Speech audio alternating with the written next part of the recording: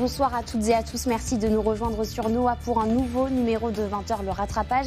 Une émission pendant laquelle nous allons revenir sur les temps forts de l'actualité de la semaine en Nouvelle-Aquitaine. Pour nous accompagner ce soir, j'ai le plaisir de recevoir Alain de Brugière. Bonsoir. Bonsoir. Je vous en prie, avancez-vous, installez-vous. Merci d'avoir accepté euh, notre invitation. Vous êtes le président du Secours catholique de la Gironde. Le Secours catholique, justement, a publié jeudi son rapport euh, annuel sur la pauvreté en France.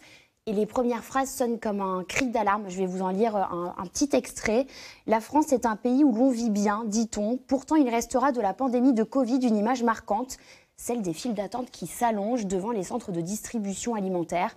En 2020, en France, entre 5 et 7 millions de personnes ont eu besoin d'y recourir. C'est une humiliation que notre pays inflige à près de 10% de sa population. Les euh, termes sont forts. Qu'est-ce que ça dit de notre pays? Eh bien, ça lui pose la question de la solidarité et la manière dont il traite, euh, on va dire, ces populations, la partie de sa population qui est la plus fragile. Quoi. Et donc, euh, est-ce qu'on l'abandonne à, simplement cette distribution alimentaire un peu, un peu passive ou est-ce qu'on l'intègre davantage pour lui permettre de retrouver toute sa dignité? Parce que c'est un sujet qui n'est pas nouveau, la précarité, mais on voit qu'au fil des ans, euh, la situation empire en France. Alors, on va dire que pour, euh, pour l'année 2020, qui est vraiment particulière, euh, bah, l'État a pris des dispositions, il a fait sa politique du quoi qu'il en coûte. Et puis euh, la générosité des Français a été extraordinaire. Vraiment, ils ont vraiment, il y a eu vraiment des élans et des initiatives incroyables.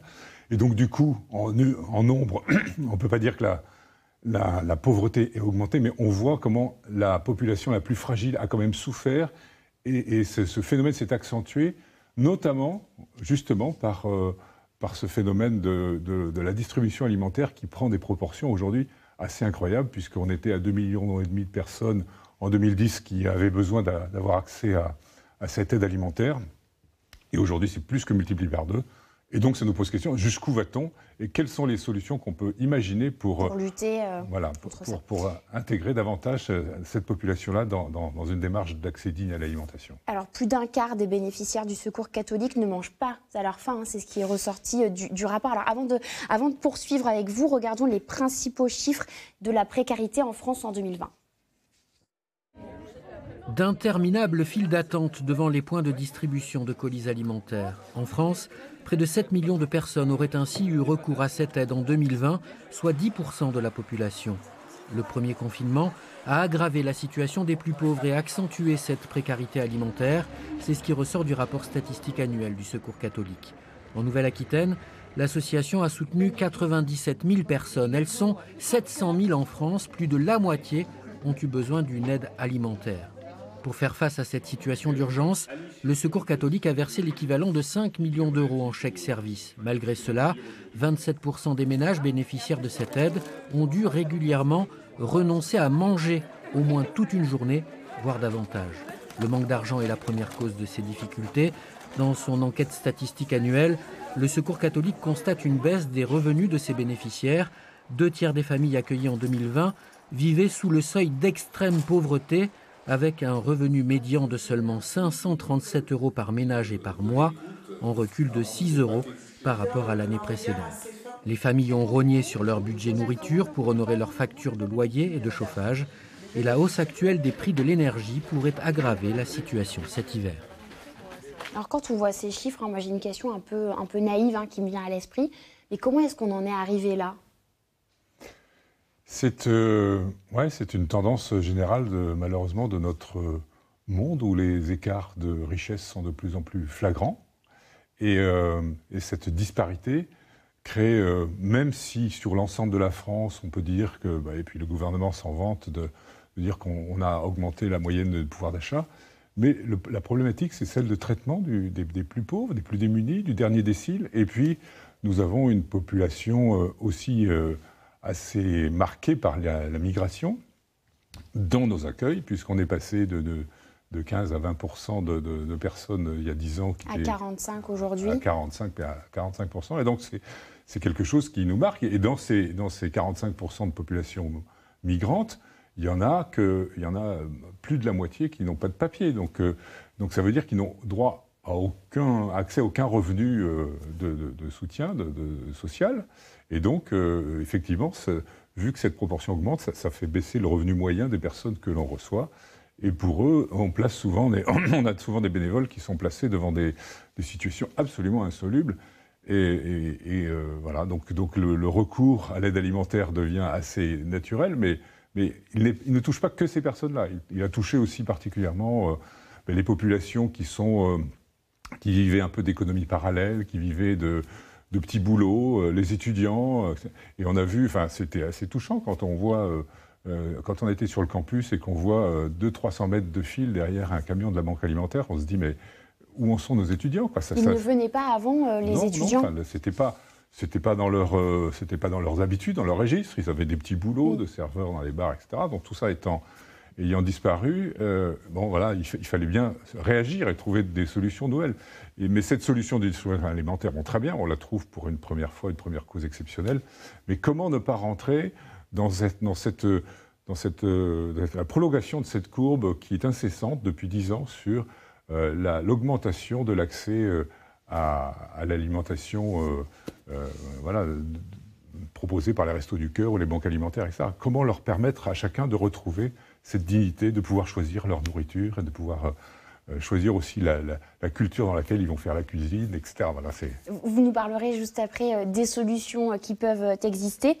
Dans, dans, le rapport sur, sur la pauvreté, il est écrit quand les revenus ne suffisent, suffisent à peine à régler les frais relatifs au loyer, à la santé, on rogne sur la part euh, variable des dépenses, à commencer par l'alimentation et le chauffage, c'est ce qu'on vient de voir aussi dans le, dans le reportage, sont des dépenses du quotidien euh, dont les coûts euh, augmentent. Hein. je pense aussi au prix du, carburant. c'est cette hausse des prix qui avait cristallisé les tensions il y a trois ans et qui avait donné naissance aux Gilets jaunes, un mouvement qui s'est certes essoufflé, mais qui ne s'est pas éteint. Alain de Brugière, je vous propose qu'on se retrouve juste après ce reportage. Très bien. L'amitié en plus, et comme au premier jour, ils sont au rendez-vous sur un rond-point devenu emblématique de ce mouvement.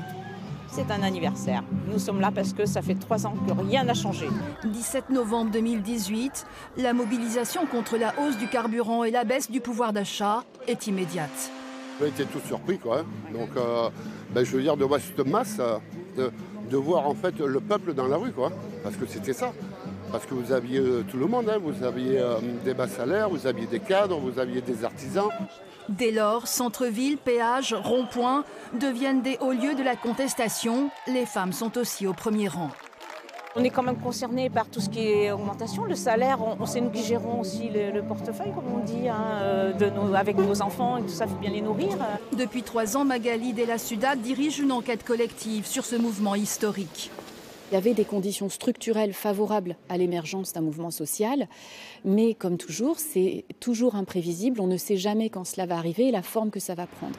Et là, la forte médiatisation, les réseaux sociaux, euh, mais aussi cette mesure qui va euh, mettre en lumière la dépendance à la voiture de bon nombre de nos concitoyens, va faire converger ensemble donc ces différentes mobilisations. Et mois après mois, le samedi, les manifestations vont s'enchaîner, émaillées de nombreuses violences. Ce qui a aussi marqué ce mouvement, c'est l'usage massif d'un certain type d'équipement et d'armement par les forces de l'ordre pour du maintien de l'ordre, avec des populations qui sont primo engagées, primo-manifestantes, qui ne s'attendent pas à ce type de réponse de l'État.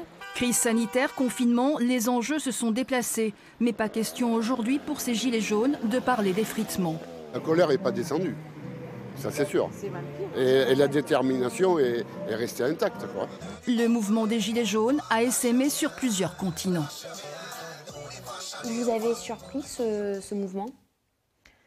Euh, On le sentait monter. On le sentait monter. Encore que la population qu'on reçoit au cours catholique, au cours catholique sont, dans nos permanences sont l'étage en dessous encore des Gilets jaunes. Et donc là, c'est effectivement le, les, premières mesures du gouvernement Macron quand il est arrivé ont été, euh, surtout vers les classes plutôt aisées et les classes les plus favorisées. Et, on a vu effectivement des, mesures qui ont, vraiment choqué parce que, les deux derniers déciles de la population, enfin les, plus faiblement euh, rémunérés, se sont retrouvés non pas en, maintien de pouvoir d'achat, mais en légère baisse. Ça, c'est devenu insupportable. Et donc, euh, nous, à travers ce, mouvement-là, on avait essayé d'organiser un certain nombre de débats à travers le territoire, plus de 200 débats. Et voilà, un peu, un peu à la parallèle au, grand débat social qu'avait organisé le gouvernement. Et c'était très intéressant de voir comment, finalement, cette prise en compte de la parole des plus pauvres, cette écoute de la parole des plus pauvres, est primordiale pour que les gens puissent puissent s'exprimer, prendre part au débat, redevenir citoyens. Et, la grande, enfin une des grandes, un des grands cris des Gilets jaunes, c'est écoutez-nous, quoi. Soyez voilà. c'était le mouvement des, inaudibles qui ont voulu se faire. Soyons partie prenante de l'organisation de notre société. Euh, vous parlez hein, d'Emmanuel Macron. Euh, justement, d'après une étude de l'Institut des, politiques publiques, le niveau de vie des Français les plus modestes a régressé depuis le début de son quinquennat. Ceux qui ont perdu du pouvoir d'achat sont justement ceux qui gagnent moins de 800 euros par mois. alors, je ne vais pas vous l'apprendre, hein, les associations caritatives mmh. sont de plus en plus sollicitées. À Limoges, on va regarder ce reportage, hein. la banque alimentaire pousse même les murs pour pouvoir stocker toujours plus de nourriture. Cyril est père de trois enfants, dont deux à sa charge. Il a perdu son emploi et touche 495 euros par mois. Pendant le confinement, il a fait une reconversion mais n'a toujours pas trouvé de travail. Ce bénévole de la Banque alimentaire fait un constat. Comme pour lui, la crise sanitaire a fait grimper la pauvreté. On voit d'ailleurs les gens euh, de la rue, comme euh, on les voit souvent euh, en centre-ville, il y en a de plus en plus et dans de plus en plus d'endroits.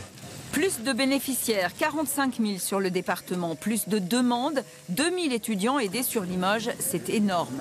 La reprise économique existe certainement, mais paradoxalement, les pauvres sont devenus très pauvres. C'est le constat que fait la Banque alimentaire.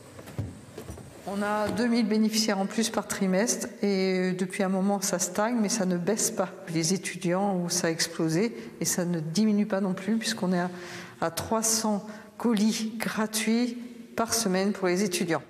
Le club de boxe d'en face a fermé à cause de la crise, alors la banque alimentaire a traversé la rue. Elle rénove ce local pour le printemps et aménage une chambre froide qui, elle, sera disponible dans quelques semaines. On a 800 mètres carrés à côté, donc ça fera 1600 mètres carrés. Et surtout, on va augmenter de façon considérable le stockage de produits surgelés, ce qui est un produit quand même facile à distribuer.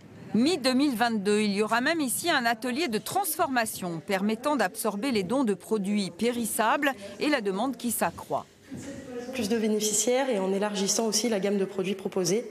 Euh, on n'a pas toujours, par exemple, des plats cuisinés euh, l'hiver ou euh, à certaines périodes. Ça permet d'allonger la durée de vie des produits. La collecte annuelle aura lieu du 26 au 28 novembre avec ses tickets à 2 euros, une sorte de bon d'achat pour la banque alimentaire afin qu'elle puisse retirer des denrées au fil de ses besoins dans 15 supermarchés de Haute-Vienne. Vous disiez c'est super ça. Oui, mais je trouve que c'est bien, mais c'est une. Il faudrait que ça puisse être qu'une initiative passagère ou, ou qu'un point de passage temporaire pour les personnes qui puissent y avoir accès, parce que au Secours catholique, on pense qu'il faut euh, cette, dépendance alimentaire, il faut arriver à s'en sortir. Alors comment on fait pour inverser la tendance? Alors ben, voilà, c'est là, l'imagination est un peu au pouvoir. D'abord, il y a effectivement euh, l'attente de la part des pouvoirs publics de, pouvoir euh, redonner des moyens vitaux à chacun avec peut-être des, minima sociaux à, à, réévaluer, parce que au départ du de, la mise en place du RMI qui était à la moitié du revenu moyen, du revenu médian en France, maintenant il est à un quart, donc il faudrait peut-être le remettre à ce niveau-là. Et puis il y a euh, aussi tout un tas d'initiatives qui permettraient de, de, rendre les gens acteurs de leur accès à l'alimentation. Donc, euh, alors aujourd'hui, on est nous sur l'ouverture de, jardins partagés. En France, on en a une, une, plus d'une cent cinquantaine. On a aussi également euh, mis en place des paniers solidaires avec des, des contrats avec les AMAP, avec euh, des agriculteurs locaux, pour faire que les gens puissent participer, choisir, pour travailler. Pour leur redonner le pouvoir d'agir, en fait. Voilà, on fait des ateliers cuisine, des ateliers popotes, enfin, des, voilà, des, des, coopératives d'achat, toutes sortes d'initiatives pour leur redonner leur pouvoir d'agir et leur, leur, leur dignité, pour, pour qu'ils puissent dire je m'occupe, et non pas simplement aller à la queue pour la distribution. C'est assez frappant de voir comment, comment euh, finalement, l'État, pour, pour l'État, c'est une solution de facilité de dire, euh, voilà, ben, on distribue les surplus de la consommation, de l'agro-industrie, etc. Mais c'est pas digne pour, pour, pour, pour, le traitement de nos populations les plus précaires. C'est pas digne d'eux, pour, eux. Donc il faut les aider vraiment à, se remettre en, en, selle avec euh, des petites actions au quotidien. Alors c'est des gouttes d'eau. On ne va pas renourrir euh, la population de, de la métropole qui est en, en, en faiblesse ou en précarité avec, euh, avec une dizaine de jardins partagés. Mais quand même. Non, mais c'est déjà assez peu, mais c'est déjà, déjà ça. Au, secours euh, catholique, vous avez aussi euh, une autre, une autre mission. J'aimerais qu'on en, en, dise un mot. C'est la lutte contre l'isolement. Vous mettez en place, par exemple, des fraternibus. On va le voir à l'image qui se déplacent de village en village pour un moment d'échange. L'isolement, c'est l'un des drames du XXIe siècle? Bah, je pense que c'est, enfin, en tout cas, dans, les, enquêtes, le, premier besoin qu'expriment les gens qu'on reçoit, c'est sortir de l'isolement. Avant même de demander un, coup de main pour, un chèque solidaire ou pour, pour une aide à l'alimentation ou pour des vêtements, ils, ils ont besoin d'être écoutés. Et c'est ce qu'ils disent, c'est ce qui nous manque, c'est qu'on n'est pas regardé. on n'est pas considéré, on ne regarde même pas. On nous évite, on nous contourne. On nous...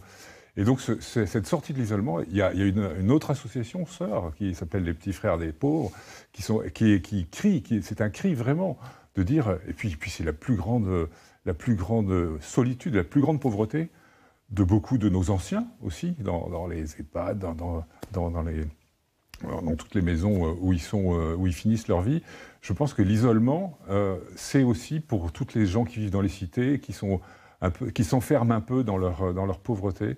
C'est un, vraiment, et là, c'est un geste citoyen qui est à la portée de tout le monde. Voilà d'aller échanger. Euh, il y a l'isolement, il y a donc des difficultés pour se nourrir, mais aussi pour se, pour se loger. D'après la Fondation Abbé Pierre, environ 300 000 personnes sont sans abri euh, en France, une situation d'autant plus difficile avec les températures hivernales. Alors en cas de grand froid, on le sait, il y a des logements euh, d'urgence qui sont proposés, mais les places sont toujours insuffisantes. C'est un sujet récurrent. Et pour compléter l'offre à Étré, près de La Rochelle, un village de mobilhome va bientôt voir le jour. Votre réaction juste après. Très bien. Le soleil, les touristes, un environnement agréable qui attire aussi les personnes sans abri. Leur nombre a doublé dans les rues de La Rochelle depuis le Covid, entre 100 et 150 chaque jour. À l'escale, 35 personnes peuvent être hébergées la nuit, pas assez pour satisfaire la demande. C'est beaucoup plus difficile quand on n'a pas de toit de pouvoir avoir un projet et de, de pouvoir se, se projeter. J'ai passé euh, déjà un hiver dans un local vélo, j'ai passé un ainsi de suite dans les bois, enfin bon bref. C'est très long, oui. Je suis fatigué. Mm. Fatigué en fait, la rue ça fatigue. Et, on change aussi. Je, me suis mis à picoler, je me suis même drogué. Pour les aider à reprendre pied, l'association Altea Cabestan va créer un village solidaire Innove-toi. Les travaux de terrassement viennent de débuter à Étré pour installer 16 mobilhomes. L'idée, c'est d'accueillir un public euh, de grands précaires avec euh, un long passé d'errance et de vie à la rue, de façon donc à les euh, ramener progressivement à une vie normale et à faciliter leur insertion en respectant leur rythme. Cinq salariés, travailleurs sociaux, infirmières, les accompagneront au quotidien. Un projet innovant retenu par l'État qui avait lancé un appel à projet. L'agglomération rochelaise est aussi partenaire, comme la mairie d'Etré, qui a tout de suite dit oui pour accueillir le village. Il y aura un encadrement qui sera fait par Altea. Nous, Etré, on aura toujours un œil dessus aussi. Et donc, pour moi, pour moi ça ne pose pas de souci. Le terrain est situé à deux pas du conseil départemental, volontairement éloigné du centre-ville pour éviter les attroupements et trafics en tout genre, mais pas pour une question d'image, se défend le maire de La Rochelle. La question était de trouver du foncier. Parce que quand vous êtes confronté à cette situation et qu'il y a des mobilhomes installés, bah, vous ne pouvez pas les coller les uns sur les autres. Il faut un peu de distance, il faut réaliser des réseaux, un peu de voirie. Et c'est ce qu'on a fait. Et c'était le premier espace disponible à proximité de la ville. Cinq studios en ville seront aussi mis à disposition pour faciliter la réinsertion des sans-abri. Les premiers résidents sont attendus mi-décembre. Vous me disiez, il vous fait réagir ce reportage oui, oui, je, trouve qu'il y a, c'est un bon réflexe et puis c'est une très bonne initiative, mais en fait, il y a un manque de logement social en France qui est, flagrant. D'abord euh, parce que les familles explosent, parce que, parce que, euh, parce que Airbnb euh, joue une carte très favorable aux propriétaires qui fait qu'ils gagnent deux fois plus, plus en, louant en Airbnb qu'en louant en, loyer modéré. Voilà. Rien que sur la métropole, il y, a, 18 000 logements qui ont disparu du marché. voilà, pour qu'il aurait pu loger des familles modeste, on va dire. Donc euh, tout ça, c'est extrêmement euh, urgent de trouver des solutions de, logement abordables pour, toute cette population. Au Secours catholique, qu'est-ce que vous proposez, vous, pour cette population? Au Secours catholique, on n'est pas très armé pour, on n'est pas armé nous-mêmes. Vous avez des centres Voilà, on a des permanences et des, Et, on est comment dire, en réseau avec un certain nombre d'associations, puisqu'on est avec la Halte 33 qui, qui est un lieu d'hébergement. Il, y a des, il y a le diaconat avec les, nos, frères protestants qui sont, très, professionnels sur, tout ce qui est le développement des sachets. Il y a, un certain nombre de, de de l'État aussi qui a beaucoup multiplié, il euh, faut le reconnaître, les capacités d'hébergement d'urgence, les capacités de logement intermédiaire. Voilà. Mais de toute façon, euh, on est toujours à la remorque, on est toujours en retard par rapport à, aux besoins qu'il y a pour l'ensemble des personnes en précarité. Parce qu'en plus, le, nombre de, personnes sans domicile fixe augmente avec les, demandeurs euh, d'asile qui sont de plus en plus nombreux, les exilés. Euh, ils finissent bien souvent par être expulsés lorsqu'ils logent dans des, euh, dans des squats. on aura l'occasion d'en parler juste après ce reportage à Limoges au mois de juillet. une centaine de demandeurs d'asile ont été expulsés. Ils viennent juste de trouver un nouveau refuge dans un entrepôt désaffecté. Votre réaction juste après. Surprise hier soir, le collectif Chabadantra avait identifié un nouvel endroit pour les migrants sans solution de logement. Parmi eux, certains évacués du squat de la Révolution en juillet. Visite sur place d'une quarantaine de personnes concernées. Sous-logement pour tout le monde, mais surtout pour moi. J'ai cinq enfants, c'est pas facile. Je suis content aujourd'hui parce que presque, presque ça fait un an j'ai tourné. Je suis très content, ça me fait du bien parce que ça fait quelques temps qu'on passé par là pour les hébergements, on ne trouve pas. Par une des agences vendeuses du local, le collectif a fait passer une proposition aux propriétaires, un Comoda. Alors un Comoda Kesako, réponse d'avocat. C'est l'utilisation d'un immeuble, d'un bâtiment, gratuite mais contre un entretien. Pour un bâtiment abandonné, c'est euh, tout à l'intérêt euh, d'un propriétaire. Mais trop tôt pour avoir une réponse sur le bâtiment concerné. Selon cet avocat, les pouvoirs publics compliquent la vie des migrants. Maintenant, les demandes de carte de séjour se font très difficilement par Internet. Autre volet, le 115, toujours saturé. On sait qu'à Limoges, le 115 est en faillite, que ce n'est même pas la peine de les appeler. Le 115 va jusqu'à mettre des gens dehors, ce qui est illégal. Cet ancien entrepôt Atlas, désaffecté depuis 2014, avait abrité un fight club clandestin qui a laissé la porte ouverte. Aujourd'hui, quelques personnes étaient revenues pour nettoyer, mais pas seulement. On est en train de vérifier euh, euh, les réseaux électriques, euh, d'eau, etc. pour être sûr que quand on remettra en route, parce qu'on sait que les fluides sont déjà présents dans le bâtiment, ben, il n'y ait pas de fuite ou il n'y ait pas de, de problème. donc voilà, l'objectif c'est vraiment de sécuriser au maximum le bâtiment et l'accueil des personnes. Dans la centaine d'étrangers évacués du squat de la Révolution, seuls 19 adultes auraient été régularisés. Depuis, beaucoup d'autres migrants sans logement ont sollicité les associations. Lorsqu'ils se retrouvent en plus euh, sans logement, euh, les, exilés, ça, ça, peut conduire à des situations dramatiques. On se souvient, là, il y a un mois à peu près, euh, de ces trois personnes qui ont été percutées, enfin quatre personnes percutées, trois morts par un TER dans le, dans le Pays Basque. Il y a un désengagement du pouvoir public à ce sujet-là je ne parlerai pas de désengagement, mais il y a une crainte hein, du pouvoir public de voir augmenter le nombre des, migrants. et donc il y a une espèce de, comment dire, de refus de ce qu'ils appellent euh, de rentrer dans, l'appel d'air. C'est-à-dire que si jamais on les accueillait trop bien ou trop confortablement, comme ils, sont, ils sont, fonctionnent assez facilement en réseau, dès que vous avez une ville où il y a quelque chose de bien qui se met, hop, tout à coup vous avez une une, euh, tout un réseau euh, ou, d'Afghans, ou, d'Albanais, ou de Bulgares, etc. Enfin, il, fonctionne assez bien. C'est une idée reçue? Non, c'est pas une idée reçue, c'est, vraiment quelque chose qui, qui, est, qui est une réalité. Et donc, euh, et donc l'État est dans cette crainte de et donc nous, avons, nous, des, contacts réguliers avec la préfecture, et la préfecture nous dit, nous, on applique la loi. La loi, c'est, elle, est, elle éditée par, euh, elle est construite par, l'État, par, ceux qui ont été élus, et donc euh, la loi correspond au, désir de la majorité des Français. Mais c'est une, comment dire, un sujet très clivant, parce qu'il y a quand même une, une bonne, une bonne euh, partie des Français qui disent on a un devoir d'accueil, on a un devoir au moins de respect de dignité, même si on ne peut pas accueillir tout le monde. Vous parlez euh, du devoir d'accueil, c'est tout l'objet d'une exposition euh, qui vient juste de démarrer euh, à Périgueux. C'est un plasticien, l'artiste Bob Cougar vient d'afficher dans les rues de la ville des affiches en noir et blanc. Le nom de l'exposition, Nous sommes refuge. On regarde et on en reparle juste après. Très bien.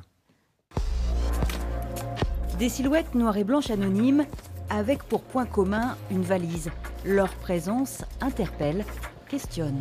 On dirait qu'il a un masque sur la tête et euh, il essaye d'aller vers plus haut, de, de s'échapper. Ça a l'air songeur, euh, il, pense, il doit penser à quelque chose. Il attend quelque chose qui vienne du ciel ou... C'est une quête, oui, d'un pays, d'un chez-soi. Le street artiste Bob Cougar raconte cette fois la valeur refuge au sens humaniste. Histoire que les gens, comme vous, comme moi, puissent se projeter un petit peu dans euh, cette image, dans ce que c'est que d'être euh, de nulle part, euh, en voyage permanent, avec une valise à la main mais sans savoir où la poser. avec un statut, celui de réfugié, une identité qui parfois nous prive de notre propre identité à nous. Au retour des talibans, des Afghans ont frappé à toutes les portes et Périgueux s'est dit prête à accueillir certains d'entre eux. Une position potentiellement clivante, point de départ du projet soutenu par la ville. Dans un contexte où euh, la figure de l'étranger est instrumentalisée pour euh, développer euh, finalement de la haine, et puis ça commence à devenir assez irrespirable, on va dire, dans, dans la, la doxa ambiante, euh, ben, nous sommes plutôt heureux et satisfaits de pouvoir euh, mettre en avant euh, la solidarité et la fraternité comme étant des valeurs qui nous portent. Une quinzaine de personnages finiront de prendre place dans les jours qui viennent, en vitrine sur des édifices publics et des logements sociaux. Vous me disiez? C'est très chouette hein, comme, comme initiative, c'est super parce que je pense que ça fait partie de ces mouvements qui permettent à, à l'ensemble de la population de, voilà, de prendre conscience, de, monter en niveau de conscience par rapport à la, fraternité qui nous oblige. Quoi. Et puis la fraternité, elle n'est pas seulement qu'entre Français, elle, devient aujourd'hui, avec, euh, avec l'évolution des, problèmes climatiques partout ailleurs, elle, devient planétaire, cette, cette, fraternité. Elle nous oblige. Voilà. Et je pense que voilà, je trouve ça très, très, très sympa comme initiative. Très intéressant. Voilà. C'est maintenant l'heure de regarder le dernier reportage hein, avant de terminer euh, cette émission. Nous, nous sommes à à peine euh, un peu plus d'un mois euh, des fêtes de fin d'année. Cette semaine d'ailleurs, le secrétariat du Père Noël a ouvert ses portes à Libourne. Il reçoit les lettres des enfants du monde entier et peut-être que cette année, il leur offrira des cadeaux de seconde main. En tout cas, on peut peut-être lui souffler cette idée. À Limoges, jusqu'au 15 décembre, une grande collecte est organisée. Une opération solidaire mais aussi écologique. J'ai des jouets à donner. Alors réemploi sur le côté à gauche. Top départ pour l'opération boîte à jouets. À l'approche de Noël, Limoges Métropole vous propose de vider vos placards, mais aussi de repartir avec de nouveaux jeux. Au départ, je partais pour les jeter. Et, c'est là qu'on m'a dit il y a des trucs pour récupérer. Donc c'est une très bonne raison, une très bonne euh, idée. Parce qu'en plus, ils ne sont pas abîmés. L'opération dure un mois jusqu'au 15 décembre dans les 11 déchetteries de l'agglomération. Seule condition pour donner ou récupérer, être muni de la carte de déchetterie. Je n'étais pas au courant, mais je trouve que c'est une excellente idée. Et comme je suis une mamie et que j'ai beaucoup de petits jouets, je vais y réfléchir. ça fait le plaisir d'enfants euh, qui euh, n'auraient peut-être pas ça euh, de la part du Père Noël. Donc ça permet quand même de faire des cadeaux à, à moindre coût. Il faut juste se déplacer, avoir le courage de les nettoyer un peu pour certains. D'autres sont tout neufs. Au-delà de l'aspect solidaire de l'opération, Limoges Métropole met en avant la dimension écologique de la collecte. Aujourd'hui, vous avez quand même une part très très importante euh, des déchets qui peuvent être réemployés et qui partent euh, à l'incinérateur. Donc ça, c'est pas possible. Si on veut réduire nos émissions de CO2, nous devons prendre conscience et nous devons penser à réemployer certains de nos déchets. Selon l'Agence de la transition écologique, près de 120 000 tonnes de jouets seraient jetées en France chaque année. Et ouais, mais on va rester quand même sur cette note euh, positive hein, qui permet peut-être d'inverser euh, la, tendance. Euh, pour terminer cette émission, en tout cas, merci Alain de Brugère de nous avoir accompagnés ce soir. je le rappelle, hein, pour nos téléspectateurs, vous êtes le président du Secours catholique de la Gironde. Et puis bien, merci à vous de nous avoir suivis. On se retrouve la semaine prochaine, même lieu, même heure. Très belle soirée sur Noah.